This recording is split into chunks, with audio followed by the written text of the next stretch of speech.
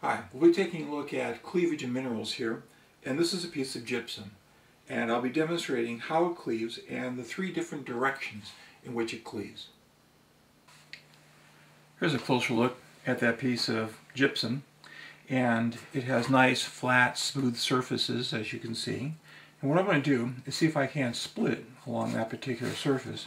And I'm not going to use a, a hammer. I think I could probably do this just with my with my fingers. All right. All right, there. It cleaved. That's a perfect cleavage, producing nice flat surfaces guided by the atomic structure. All right, let's take a look at the thinner piece here. See if I can't cleave that one again.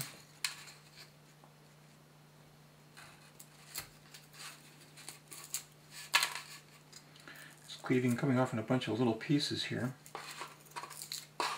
Here's a small piece right here. So you can see it does break again and again. I do have a knife here, and I'll slide this along the cleavage direction. Produces a little better one. All right, and if I had more patience, I could probably split that again and again and again so that you can see that gypsum has cleavage guided by the atomic structure. But looking at this piece right here, I noticed that there's a little line right across there. That's an incipient cleavage plane. I'm going to break it along that line. However, I also want to show you another physical property of gypsum, and that it is that it has flexible sheets. So I can take this one right here and apply some pressure to it, and you can see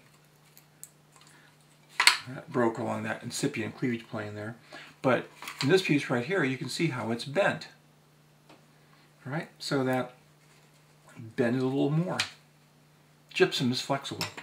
All right, continue to break it here. Here's that broken chunk here again. So the cleavage directions that are produced so far are top and bottom, this side, and the side my thumb is on, and again over on these two sides. So that's one direction, two directions, three directions of cleavage, and they'll repeat themselves. Now I already repeated along the flat direction there that produce the thin sheets, but I can reproduce it in that direction parallel to that side. So I'll take it, it bends a little bit. All right, so that's the cleavage in that direction. And along this direction here, parallel to where my fingers are right now, There's one. Another one. Maybe one more. Yeah. All right. So you can see these are all cleavage fragments here. Gypsum has perfect cleavage in one direction, producing these thin, flexible sheets, and two good directions of cleavage otherwise. All right, so that's gypsum.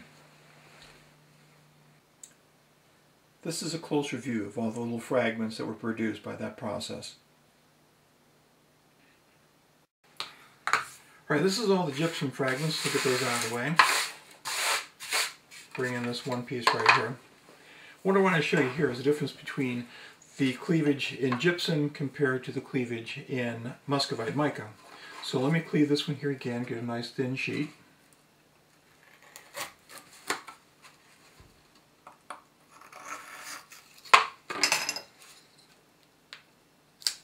Okay, that broke. Nice.